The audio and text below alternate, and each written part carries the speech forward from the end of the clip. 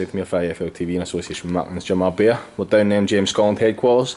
We're delighted to be with MGM Scotland's new latest signing, heavyweight Gary Cornish. How are we doing? Yeah, good. Thanks yourself. Not bad, not bad. Happy to sign with MGM? Yeah, definitely. You know, really excited about what the future holds. So onwards and upwards. And we're looking ahead to. I see you've trained, uh, changed your training team as well. Is everything is everything moving forward?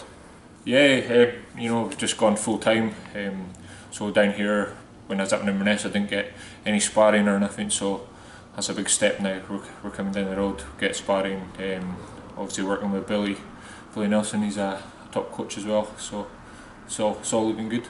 You're in a stable full of good pros there. David Brophy, Stephen Simmons. Are those people you think will really help you in the gym? I definitely you know. If you've got a good gym, you know you all push each other. So hopefully we can take the best out in each other. You're 23 and 1 now, you're 29, that's young rel relatively for heavyweights. Do you feel that you're just about to approach your peak? Yeah, they say uh, you don't really reach your peak till you're about 33, I think, in heavyweight, so you've got a few years yet. So.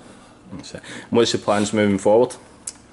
Just, well, I spoke with Sam, you know, and uh, that's one of the main reasons I signed with Sam is because we've got a plan in place. Um, we're going to build up, build up fights, you know, and instead of just fighting oppositions that are down here, we want to step up, step up, step up, rather than just always fighting here and then bang, big step up, you know? Yeah. We're wanting to build up, build up, build up, learn, learn on your way up instead of just waiting for the big one.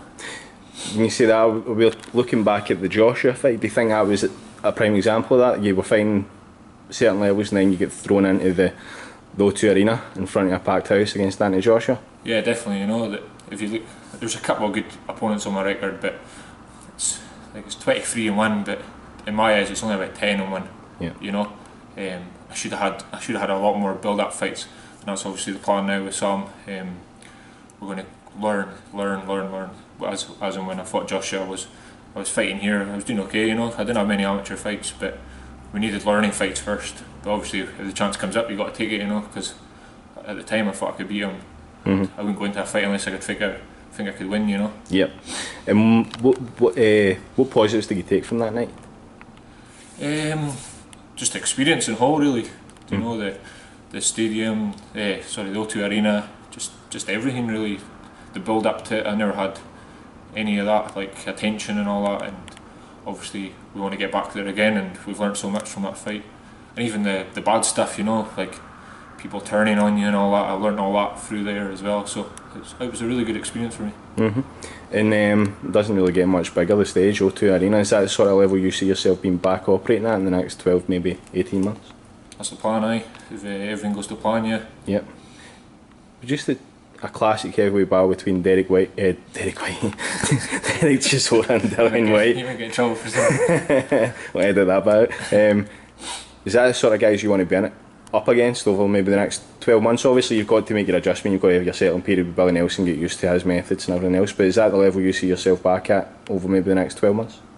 Yeah, definitely. Um, you know, I've, I've sparred with Derek Chisora, um, I've watched Dillian Whyte fight, and you know, it's not, there's not that much difference between. There's, there's a lot of heavyweights in the scene just now that are, we're all like kind of close, you know, mm-hmm. and aye, aye, that's where that's where I want to be anyway. Seems like just a couple of big victories will put you straight into that will thrust you straight into position if if you get what I mean. I mean the heavyweight scene is wide open ever since Fury dislodged Vladimir Klitschko and the opportunities are there for heavyweights when they put a couple of wins together. Is that something that sort of motivates you? Yeah, definitely. Yeah, like like I said at the start there, you know, we're gonna we're gonna build up instead of just fighting opponents down here. We're gonna build up, build up, build up, and then once once the time comes where we get one of these boys, we'll we'll be ready. Mm-hmm. And uh, just final thing, have we got a fight date in mind yet?